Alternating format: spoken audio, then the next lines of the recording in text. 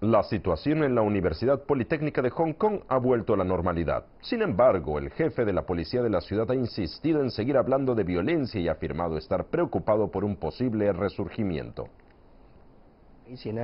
Algunas actividades son inaceptables, como la quema y la destrucción de la propiedad privada. No toleraremos estas acciones, las detendremos inmediatamente. Para otras situaciones empleamos la persuasión en lugar de la fuerza.